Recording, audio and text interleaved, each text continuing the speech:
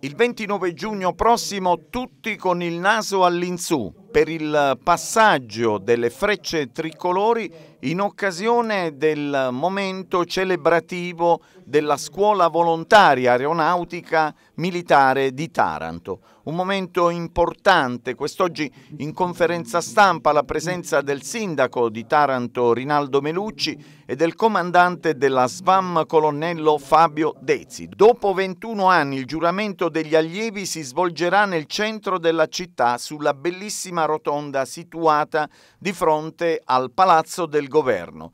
Il giuramento vedrà anche la pattuglia acrobatica nazionale che si esibirà con alcuni sorvoli sullo specchio di mare antistante, il luogo della cerimonia.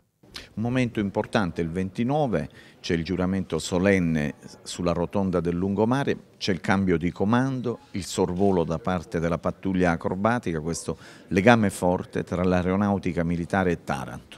Sì, è proprio così, un, sarà una giornata intensissima, come detto ehm, i volontari avranno l'onore di poter eh, impegnarsi nei confronti della patria in un luogo pubblico, quindi di fronte a tutti i cittadini.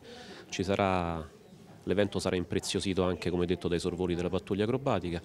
L'evento si chiuderà anche con la cerimonia di cambio di comando e quindi sicuramente una giornata pienissima è, è, un premio, un regalo che noi facciamo alla città, ma anche un premio, un regalo che riceviamo dalla città perché, come abbiamo detto, l'interazione, il rapporto con il territorio ionico è estremamente stretto, è saldo, è forte e ha radici antichissime. La SVAM, questo presidio così importante per la città di Taranto che continuerà a svolgere il suo ruolo di preparazione del personale dell'aeronautica militare. Sì, la scuola è l'unico polo in, per l'aeronautica militare di formazione dei volontari sia in ferma prefissata che eh, i volontari che poi vincono il concorso e fanno il transito nel servizio permanente. Quindi ci sono tutta una serie di tipologie eh, di corsi sia di formazione che, che addestrativi.